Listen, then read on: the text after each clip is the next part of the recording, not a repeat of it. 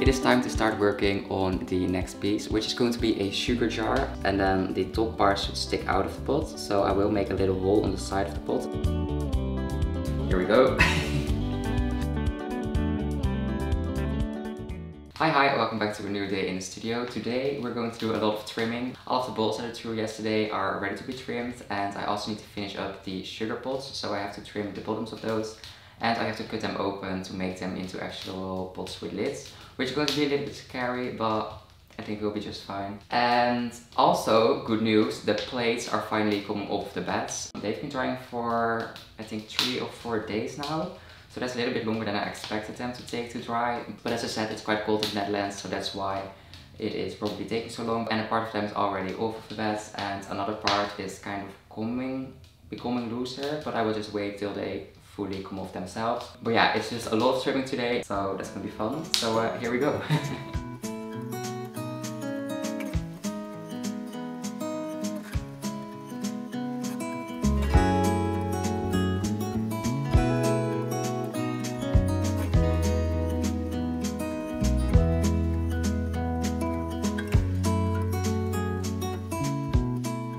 Here's a closer look to how I like to trim my pieces. I've already shown this before in videos, but I thought I'd explain it one more time.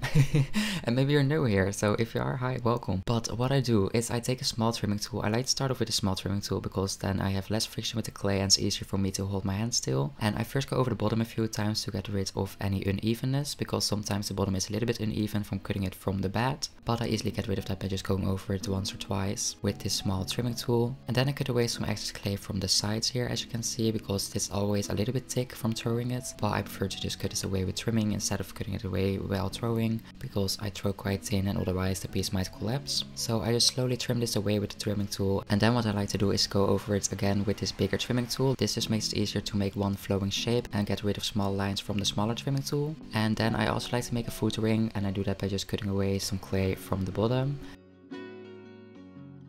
and then I also go over it with a bigger trimming tool to just make it nice, flat and smooth. And then I smooth the whole piece out and I first do this by going over it with a wet sponge. This gets rid of any small lines. And then what's maybe a little bit weird and I haven't seen anyone else do, but it does work for me, is I go over it with this trimming tool. This trimming tool doesn't really trim because it isn't sharp, but this helps me to get rid of the slip from the sponge and this smooths it out even more so I just take away the slip like this and then what I like to do is go over it with my finger to smooth it out even more. And then the trimming part is done. And as you can see the bottom is nice and smooth. And just like that I trimmed all of the balls that I threw in the previous video and then it's finally time to trim the plates. What I do to trim the plates is turn around these little hands, like these little holders from the Giffin Grip, I don't know what they're called. I just turn them around so that they are a little bit flatter because a plate is quite flat and that's just how it works. Trimming a plate can be a little bit of a struggle because they're so flat and then it's quite difficult to trim the side. As you can see here, I just put it in the Gift & Grip like this and I just trim as far down as I can. You also have different methods of doing this, but I feel like the Gift & Grip is just the safest way to trim something because you can also use a mat or something to put it on, but sometimes the piece flies off, so I prefer to just do it in my Giffin Grip.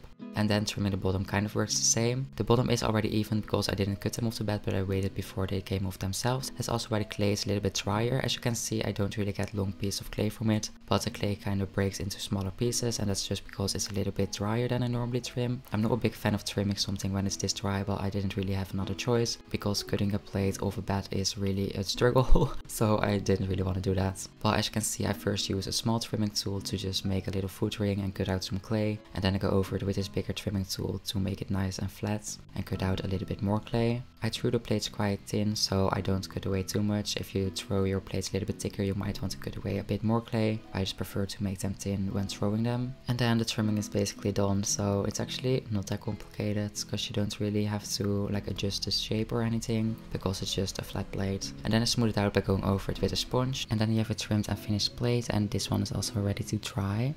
I just finished trimming all of the plates. At least I was able to trim six of them because the other four that I threw a day later are still stuck to the beds. So I think I will be able to trim them tomorrow if I have time tomorrow because tomorrow I'm also taking some time off so I won't be in the studio that much. But for now I'm going to do the scariest thing that I have to do today which is cutting open these sugar jars. Uh, that's going to be a little bit stressful because it has to go well in one go and if I mess up then it is just ruined and I have to make a new one. First I have to decide at what height I want to cut it open. Because like the lower I cut it, the smaller the pot will be and the larger the lid will be. But the thing is that normally I just make a pot and I just make it the way that I like it. I mean, I'm also going to do that now. But now I have the challenge to put a spoon in it that sticks out from the outside through a hole. So I also have to make that hole, but I think I will just make that after cutting it open. But it has to fit in a way that it can like stick out to the sides. But it shouldn't be sticking out too high, I think, because otherwise the pot is a little bit too small then I won't be able to like scoop it. Because when you scoop some sugar out of it, then you have to hold the spoon quite horizontally. So I think I'm going to make it quite low and make the lid quite big because I think that will work the best. but we'll see after I've cut it open if I did it right, I guess. Okay, so here we go. As you can see, I'm holding a little knife and I'm just slowly pressing it into the clay. And what's important here is that you keep your hand diagonally because if you hold it horizontally, the lid will kind of fall off. And if you hold it vertically, vertically, vertically, then the lid will fall into the pot and we also don't want that. So I'm holding it diagonally, okay? Diagonally. Yes.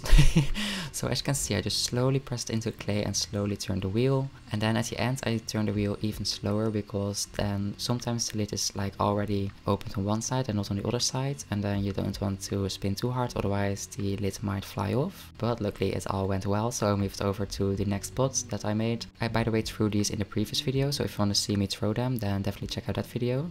And with this one I'm just doing the exact same thing, so I slowly press the knife into the clay and cut off the lid. And I'm very happy it went well because it's easy to like mess up here and if you mess up you can't really go back. So yeah, happy it went well.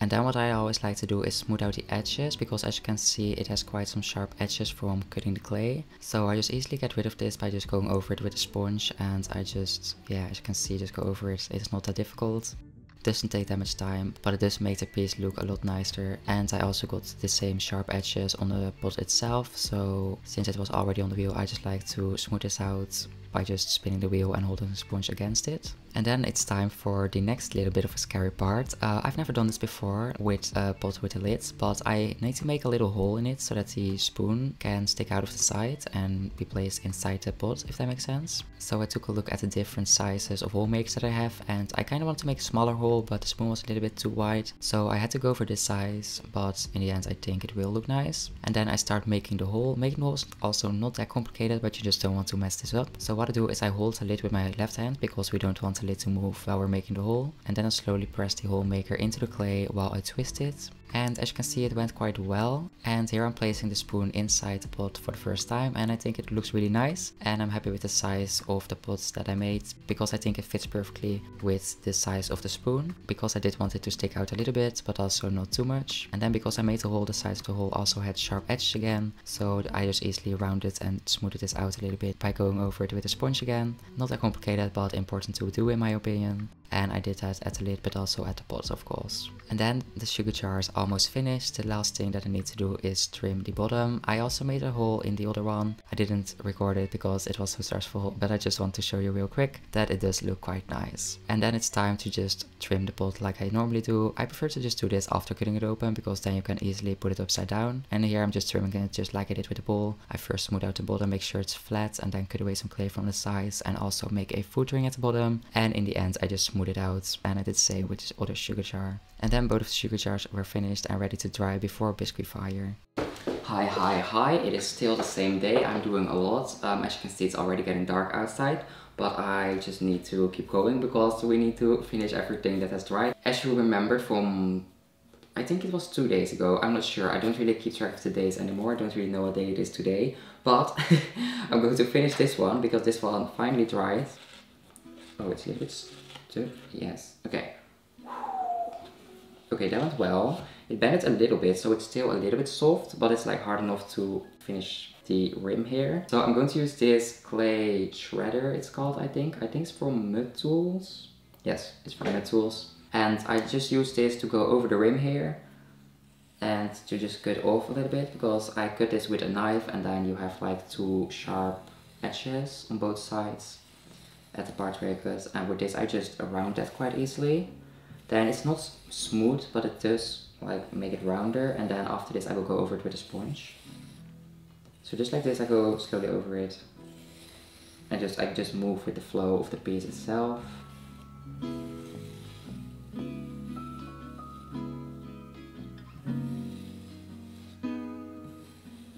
Okay, that looks nice.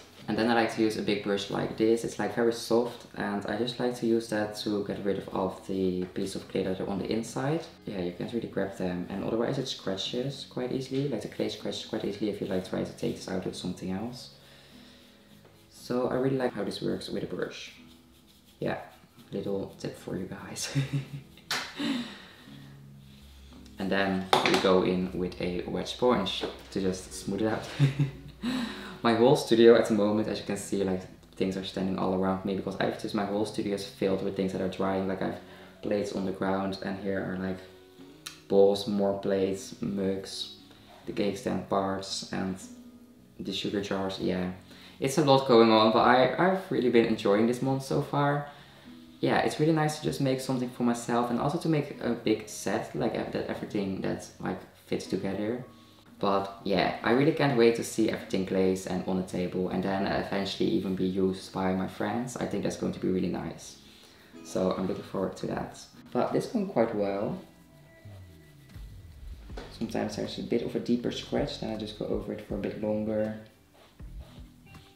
And it's all nice and smooth. And you know, because it's like a flowing shape and it's just out of the hand, I feel like it doesn't have to be perfect. Weirdly enough, I'm very perfectionistic when it comes to throwing, but when I'm hand building, I'm just like, well, it's hand built, so it doesn't have to be perfect for some reason. I mean, you can of course make things perfect when hand building, but I also feel like the forms are just a bit more organic or whatever you call it. And yeah, with throwing, I just want everything to be perfectly centered, perfectly straight, perfectly everything. With hand building, I feel like I'm a little bit looser with that, so that is nice. But I still prefer throwing over hand building. But you know, a little project here and there doesn't do any harm, right? This thing's finished and I kind of want to put it on top of the foot of the cake stand to just see how it looks. Like it did bend a little bit, so I hope it won't collapse when doing that. If it does, I might just cry, I don't know. ooh, ooh, ooh,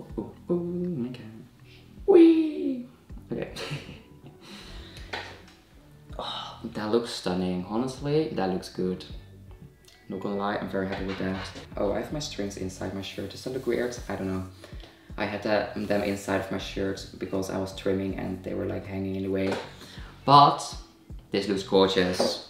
So I'll make two more of these. I just wanted to first finish this one to see if it would work out and then make two other ones instead of making three ones and then maybe failing.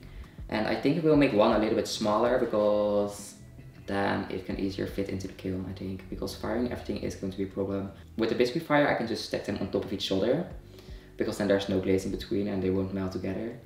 But with the glaze fire, they're going to take up a lot of space. So um, yeah, like this one does not fit in the middle of my kiln, but only at the top shelf, because in the middle of the kiln I have like the little kiln furniture standing around it so that I could put another level on top of it. And with the top layer, you don't have that. But yeah, I'm very happy that it uh, looks like this. And then I also, of course, have to throw two more food thingies. so Tuesday is always the day of the week that I take off. Oh, my birds. Meet Iris. Hi. I think we do have to keep an eye on the phone because sometimes it falls off. Oh!